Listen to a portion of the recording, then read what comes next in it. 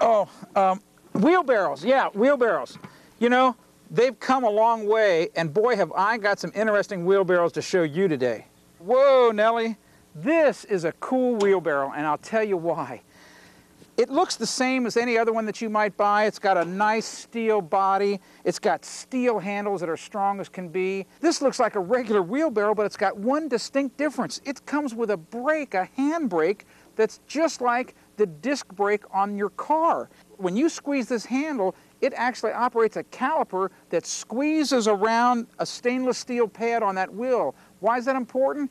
If you're going down a hill with a big heavy load, the wheelbarrow won't get out of control. This is a really interesting wheelbarrow. This one looks almost the same as the one I just showed you with the brake, but it's different. It's got a plastic body, a plastic tub, and it's huge, eight cubic feet. That's an enormous amount of material that you can carry around with this wheelbarrow. But what also is the difference? Check this out. Look at the front end.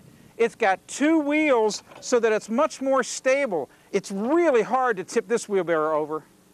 You know, here's a really interesting wheelbarrow. This one, I'm convinced that it was designed and engineered by a woman, and I'll tell you why.